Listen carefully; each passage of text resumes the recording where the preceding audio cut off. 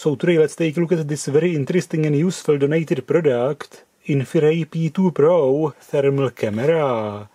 I already tested it off camera because I couldn't resist. Touched the temperature of the world. Here is the manual and some instructions. This is in Chinese, in English. You basically have to search for P2 Pro application and install it in your smartphone and that's it.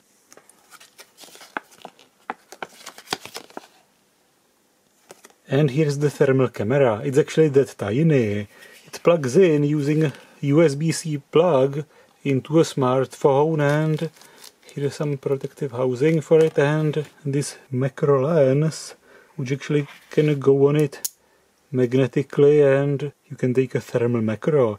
You can basically go very close with the camera to the object and take a thermal picture from very close and it is a USB cable. I wanted to say a charging cable, but it's actually an extension cable. So instead of plugging it straight into the phone USB port, you're gonna plug it into this and then this one into the phone. I downloaded a P2 Pro application for my phone and let's try to test it. And here is the close-up of the camera and of course it came with a protective film on the lens and it's actually shiny, it's not transparent invisible light. The lens seems to be made of some material transparent for far infrared but not transparent for visible light. Super tiny, just the lens, the logo, the port and nothing else. Let's plug it in the phone, start the application and it works. Nice. It can be used both like this and like this. It shows a hot spot and the coldest spot. And it also measures the temperature in the center. So you can basically point and measure. Nice. You can choose the palette. This is black and white basically. The brighter the hotter. Iron red. This one seems to be the most familiar one for infrared cameras. This one contains some green, but it's sort of confusing whether the green or the red or the yellow is the hottest. Another rainbow color, even more rainbows, red hot. The hottest spot is basically red. Hot iron and the black hot black and white the darker the hotter basically.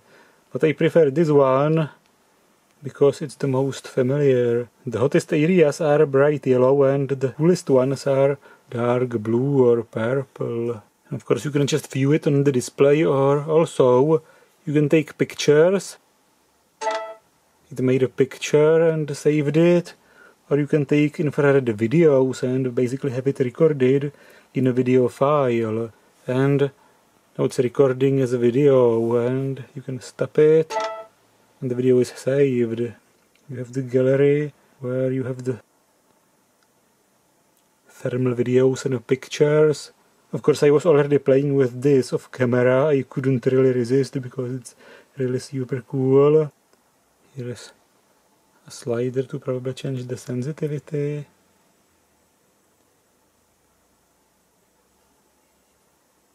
high image quality, wide range, or automatic here. Image setting, brightness, contrast.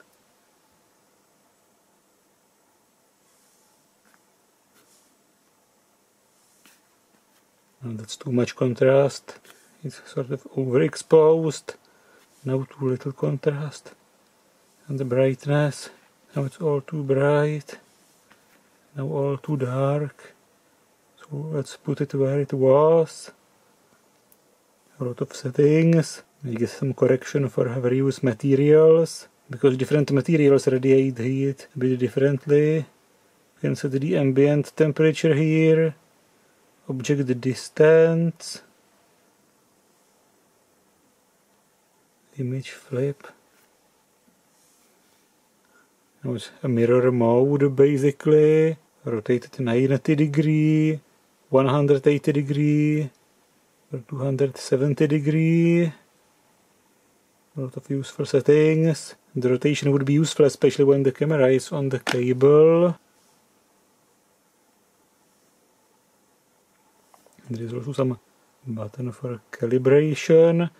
It says calibration successful. And this can also display the normal image from the camera of the phone. But of course now the disadvantage is that for objects that are close to it there is a lot of offset because the phone camera is here and the thermal one is here. To use it like this it would be more convenient to put the camera on a cable and position it somewhere here close to the phone camera. You can move it here and you can I guess also take pictures with this in it. and Yes, the pictures are saved with the normal camera picture inside of the thermal picture. And the same probably applies to the video.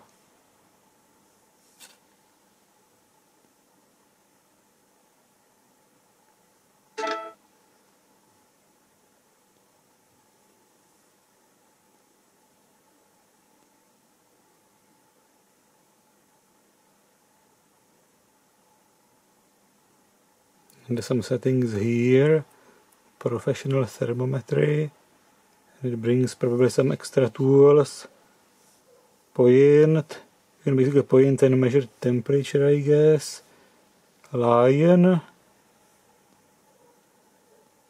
measuring the temperatures on this line. Rectangle. And measuring the temperature minimum and maximum and average in the rectangle a scale here. This is very useful. And deleting all these things. The scale seems to remain. Temperature setting. Burn protection. Temperature units. Of course let's leave it as 2 celsius. Temperature alarm.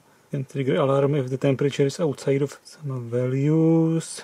And this is the 65 watt charger I fixed the broken cable is fixed on it and let's try to test it. Let's run it at maximum power almost 58 watts. And let's make a thermal image of the charger. Nice.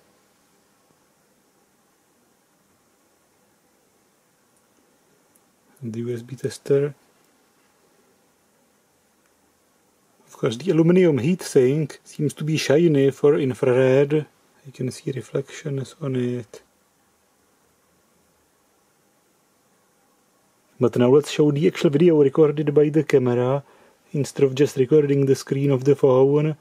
Of course the disadvantage is that the thermal camera doesn't record audio, so we have to record it using the other camera and edit it in. And here is the thermal image with the shiny heatsink here on the transistor. Here's the transformer, and of course let's use a sharper pointer than my finger. Here's the transformer which is getting hot. But of course measuring the temperature of this heat sink is tricky because it's shiny and the hottest thing here is the bridge rectifier. The electrolytic capacitor isn't as hot, the inductor in the interference filter also isn't as hot, and the capacitor in the interference filter is cool. And the capacitors are sort of warm, but not super hot I guess. And the tops of the electrolytic capacitors are shiny, so they actually seem cool but I guess they're the same temperature as the rest of the capacitor. And you can see even the cable is slightly warm and the tester. Of course when I go too close it's not very focused. So let's try to put the macro lens on. Now it's on and now it's actually sharp when I go very close.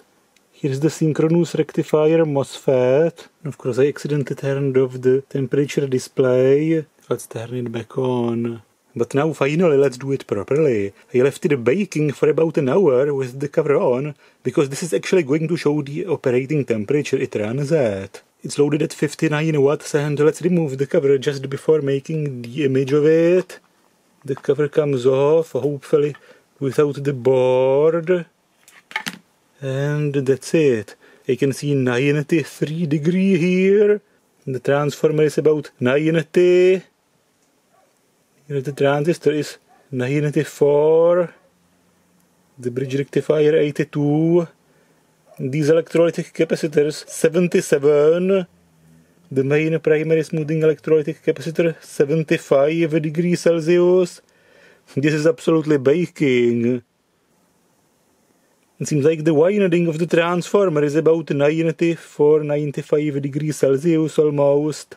You put the macro lens on and the synchronous rectifier transistor is about 82 degree and the primary switching transistor is about 84 degree, 85. Now let's take a look at the other side of the board, of course with the power still on and the hotspot is about 95 degrees Celsius and this is the snubber network of the primary winding.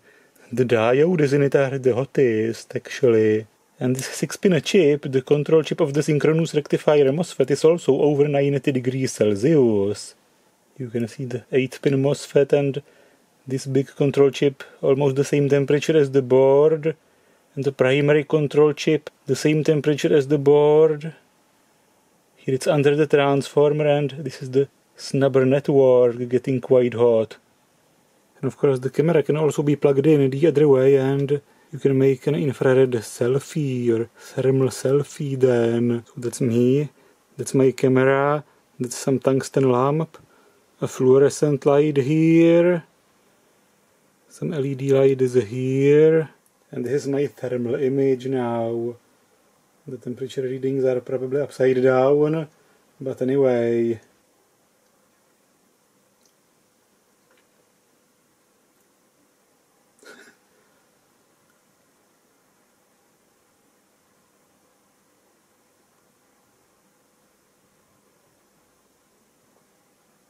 and of course some more thermal videos. Here is the dog.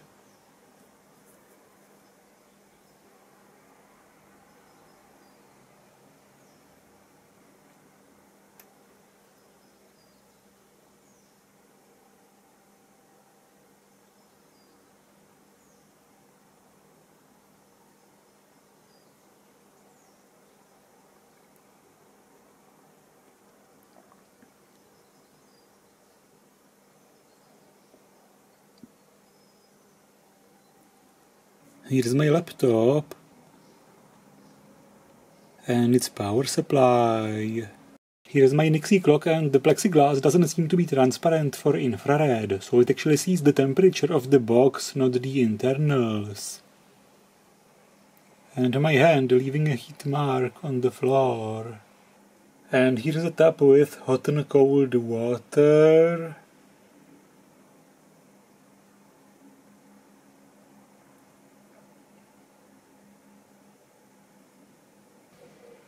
Opening a freezer.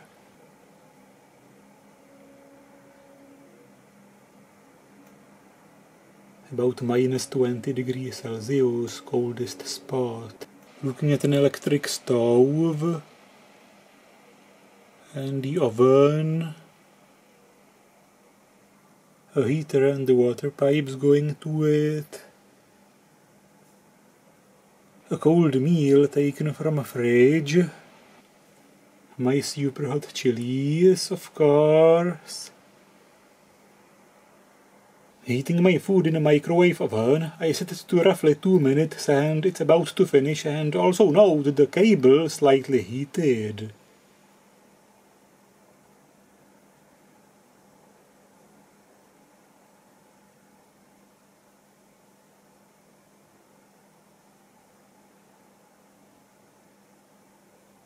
Storage water heater. The water tank is insulated so the hottest are the pipes and also note the cold pipe. The glass in the window is not transparent for far infrared. Opening the window, you can see some trees and the sky and clouds and couple buildings in the background. Heated by the sun.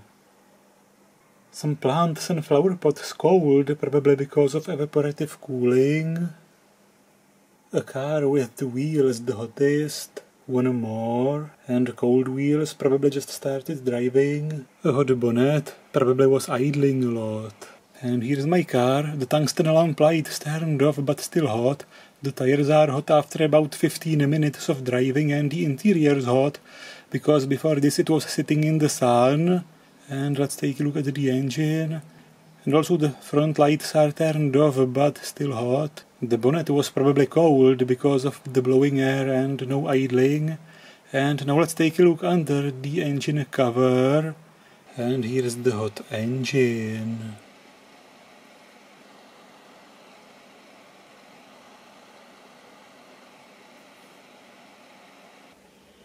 My plug-in circadian light with red and yellow LEDs. Some people.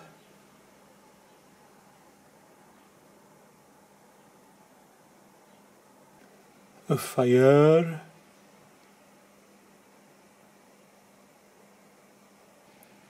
A thermal cat here.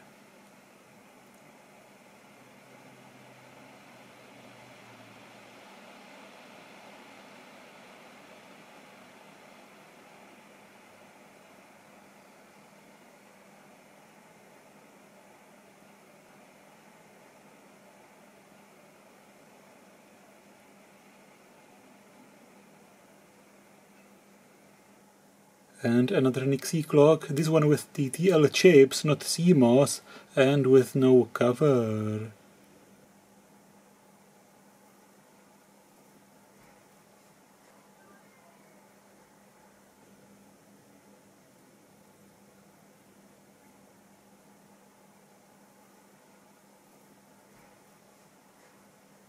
So that's this interesting super tiny thermal camera. Big thanks for it and of course there are some links in the description.